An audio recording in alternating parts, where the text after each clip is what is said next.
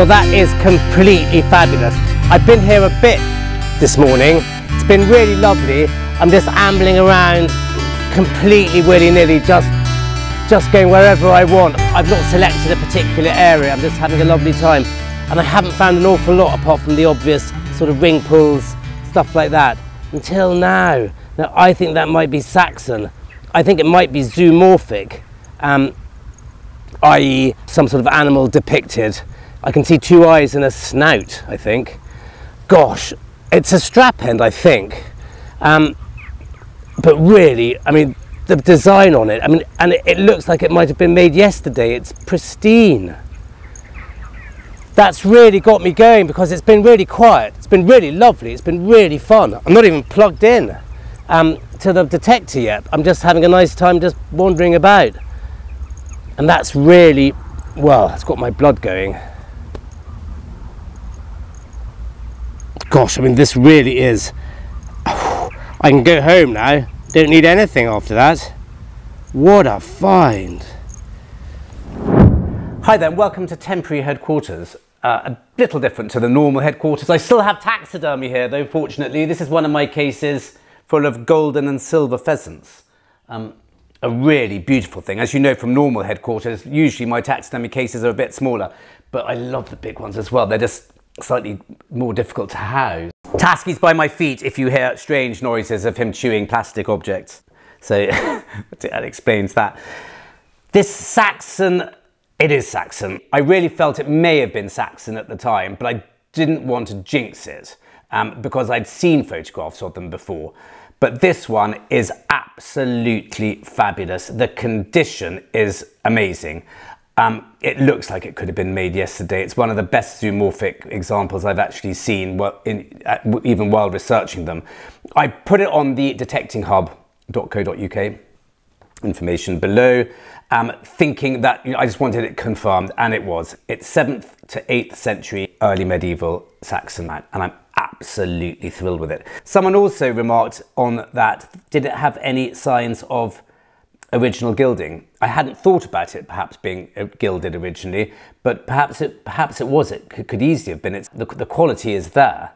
Um, it doesn't show any signs of the gilding, but you can clearly see the, uh, the design that is there, including the two little eyes, rather googly eyes, um, and his, and his um, little snout it's zoomorphic, as I said at the time, depicting some sort of animal or having an animal sort of imagery in the, in the object itself.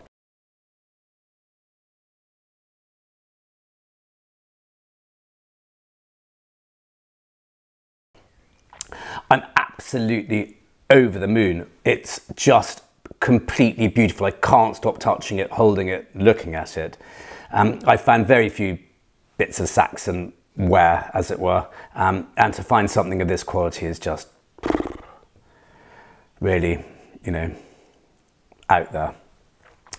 So, yeah, still rather speechless. Anyway, back to the fields.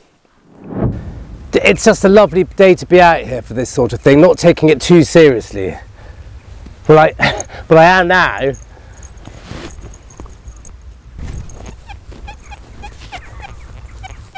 Well, that's lovely and faint. I've dug up so many ring pulls already today that I'm, I'm just going to do faint ones for the time being. Now, it turns out that this was ploughed quite heavily um, during the Second World War for obvious reasons to feed the nation. So it would explain why some things are close to the surface. Mm, it's sounding a bit jumpy now.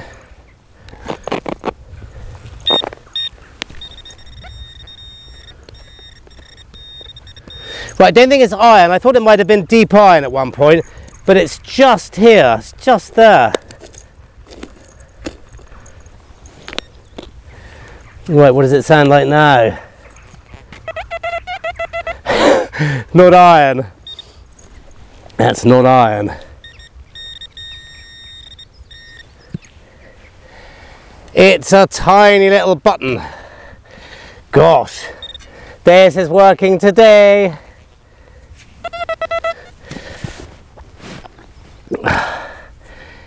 It looks like a, a military one of sorts, but quite deep, but a long way down.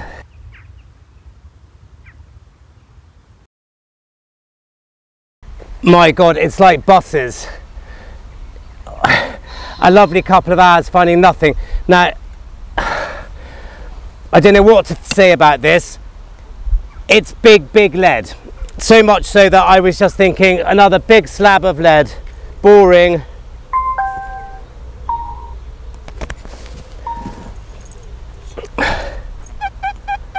I mean, absolutely belting sound. I went down and down and down about 12 inches.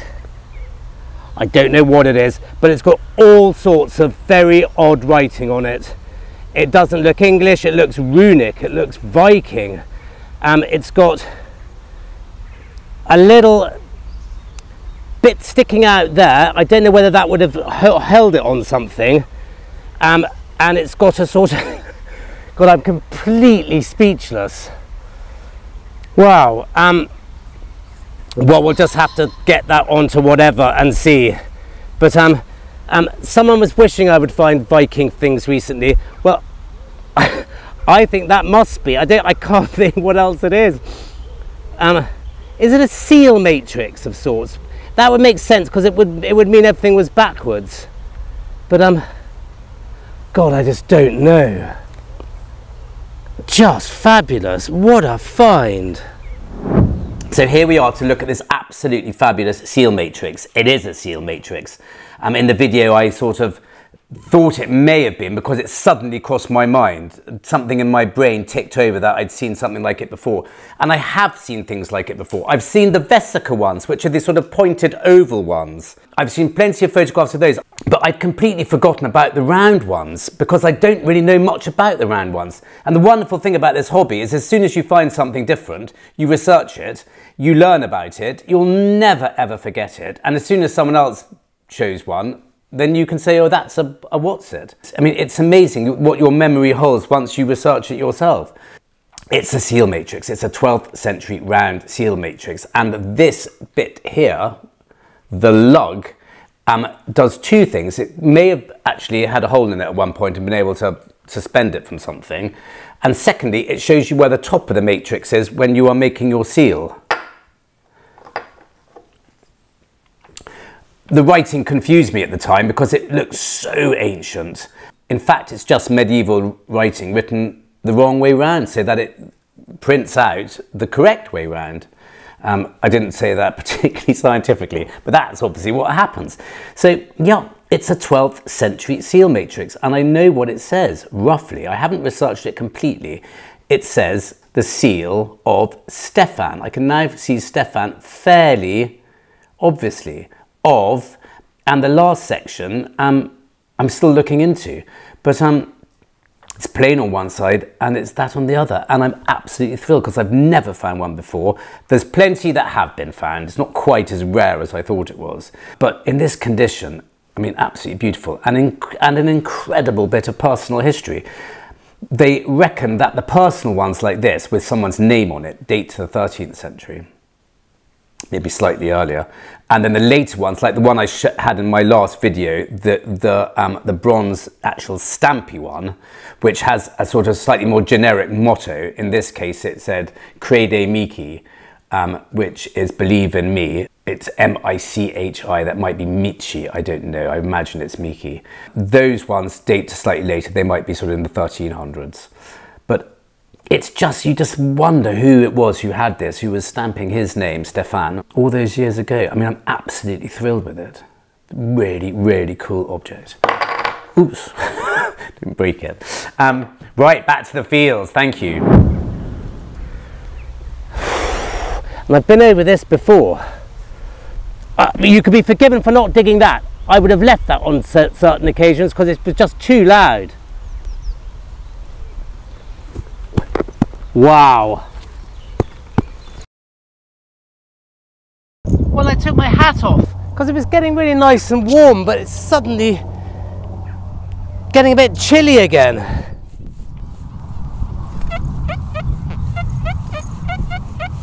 Now, that's a bit squeaky, but it's sort of, dare I say it, it's the right depth.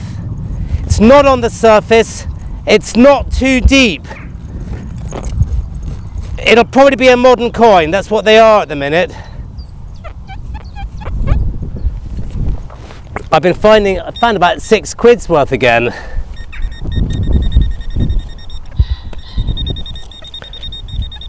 That's not a good sign. That's picking up a very large area. It's nice when the pinpointer just gets excited in a small inch or so. If it's like that, but after that socking great piece of runic lead I found, I'm digging these deep ones. Sometimes you have to reset this.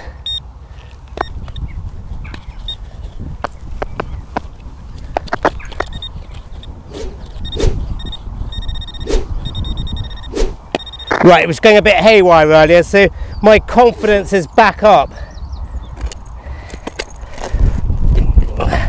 Still deep.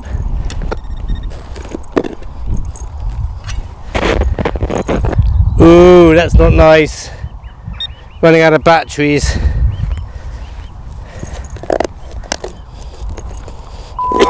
Ah.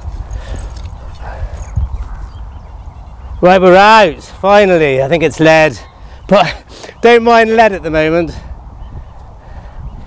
Yeah. Big bit of lead, bring it on though.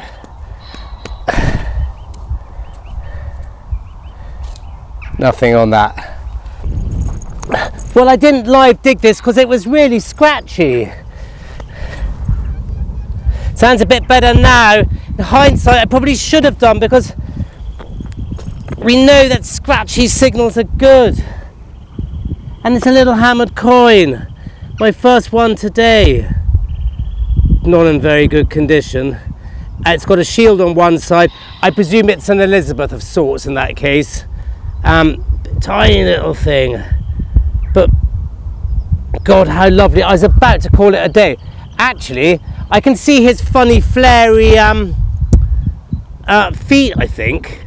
You know the one I mean, when I think it's Henry VIII, he's sort of sitting down, you can see his sort of bell bottoms. um, well, that's what I think is. I don't know. Lovely little coin, really pleased.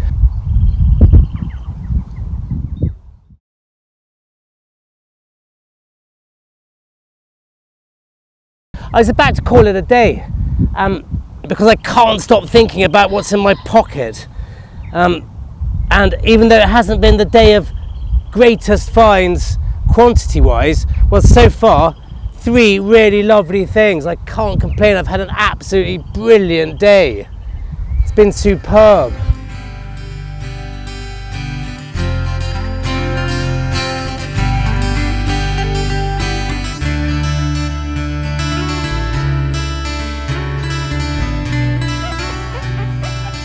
Well, that's quite close to the surface, but that's not putting me off.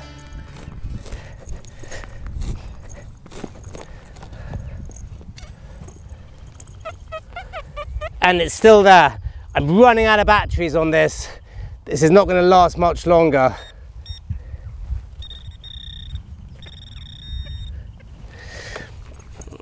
Quite fun not having the pinpointer sometimes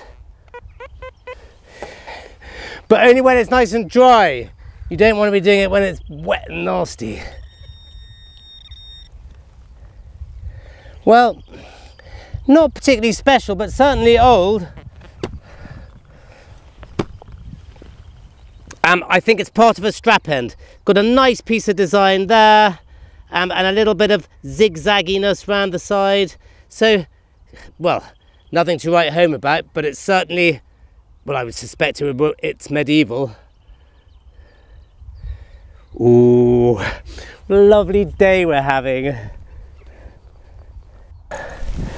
Well, I didn't live dig this because it was so soon after the last one and you never do two together because they're never going to be two good finds one after the other well not usually anyway and I'm absolutely over the moon it's a short cross. It's the best short cross penny I have ever found. It's completely unclipped. I can read everything on it. Um, I mean, I'm absolutely blown away. And I'm sorry you haven't seen me digging up the really good things today live. Believe it or not, I use up to five cameras filming these things sometimes. And if I'm digging up bits of rubbish one after the other, I simply stop setting up. It just takes too long. And especially if I'm enjoying myself, I can't set up on each dig because I wouldn't enjoy myself anymore. But the other thing I do not do, as someone has, a couple of people have suggested, is come to these fields with my pockets full of things, pretending to dig them live. I A, wouldn't get any satisfaction out of that.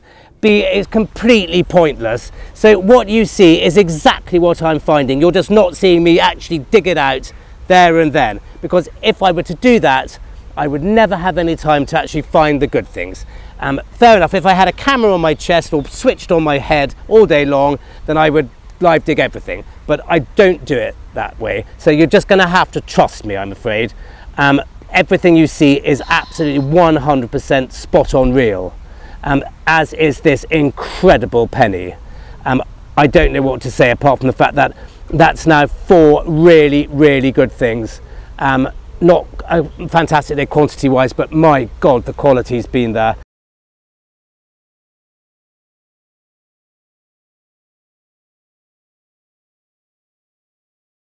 And a quick look at this, I can't let you go. I'm not going to bang on about it because we know what it is. But I have never found a coin in this in this condition, um, short cross, um, completely unclipped. The detail is just amazing. Um, I won't bang on about it, just show it to you. Have a little look. I don't think I'm going to beat that, and I really want to start researching what's in my pocket. So on that, I'm going to call it a day. Um, because it's just not, it just can't get better. I mean, that is just mind blowing. Thank you very much for watching me. Sorry about the rant, but sometimes these things need to be said. Um, and see you next time. No rant next time.